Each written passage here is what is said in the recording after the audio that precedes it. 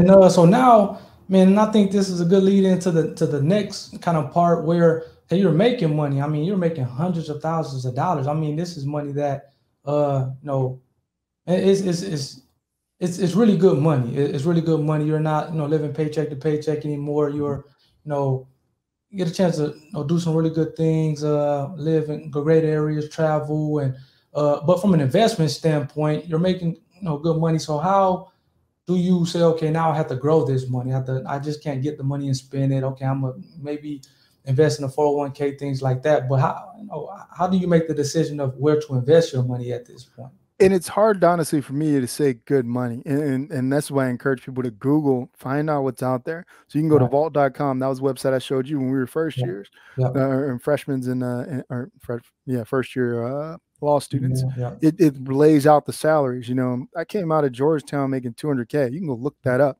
you know that's the base salary for a first year associate and that goes up to like you know three four hundred grand then you're not even talking bonuses yeah. But you can actually tangibly go and Google that and see what these people make. For sure. And I'll tell you, that's not that's not that's nothing, man. You see our clients, man, there's a guy who's making like 12 million a quarter.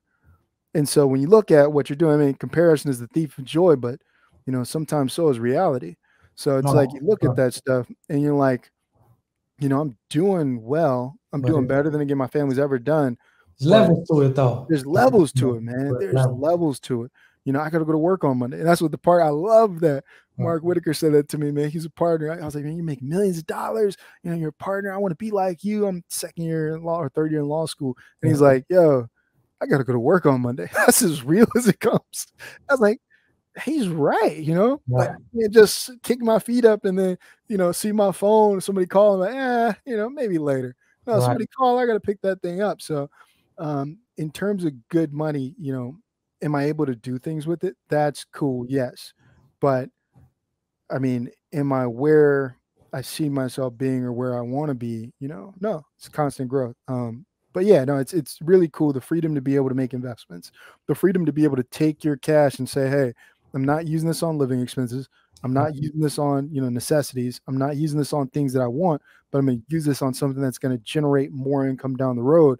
That's a really cool space to be in you know, but I wouldn't by any means say that, you know, it's good money. I don't want to I don't want to knock anyone's situation. No, yeah, for sure. And I, I, guess my whole thing is more so trying to figure out, okay, you're making good money or you're making money. You're making yeah. money that you can invest now. It's not just mm-hmm. I think again, a, a, big part of the channel is when you're making, you know, what they say the average person makes 40 grand or 50 grand a year.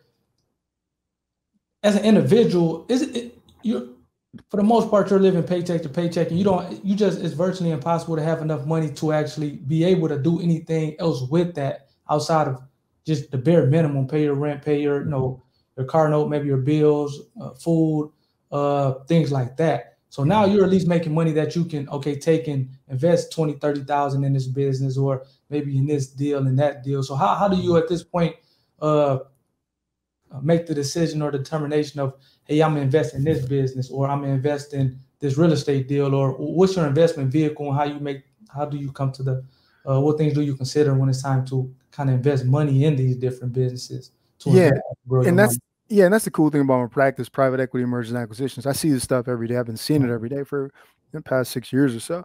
Um, and so i tend to say okay i'm not first of all stock market unless we're in a downturn I don't play it. We just don't have enough money to see any real value. If I had, you know, twenty million dollars to throw in the stock market, then yeah, you know, twelve percent increase, that's pretty yeah. cool, you know.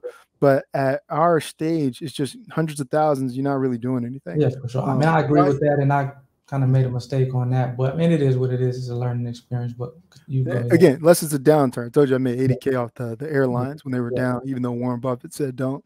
I was like, I'm in the airport right now, um, which kind of goes into one of the points. Um, if I can see it or if I have experience in that space, yeah, I'll put cash behind it okay. or I'll put sweat equity. I love putting sweat equity. That's For not sure. dollars on my pocket.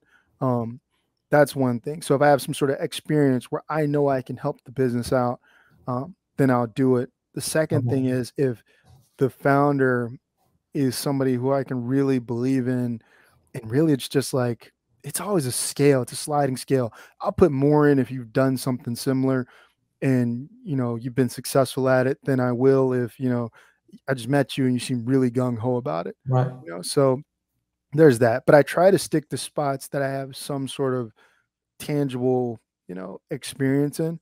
Uh, the one exception would be, you know, no, there's two exceptions. One good exception would be the gym, the fitness studios. Yeah. You know, I don't have tangible experience running a fitness studio, but the guy I invested in, he did. They yeah. turned 300K into 1.2 in revenues you know, 300k investment into 1.2 in annual revenues in a matter of like two and a half, three years. And so their vision is ridiculous. So when I got the opportunity to put in cash and help out with the legal stuff, because everyone needs a lawyer, yeah, this was really cool. Um, that was really a cool opportunity, and we're still going. You know, they're opening up their third location. They're in Milwaukee, uh, the Loop in Chicago, and now in Lincoln Park.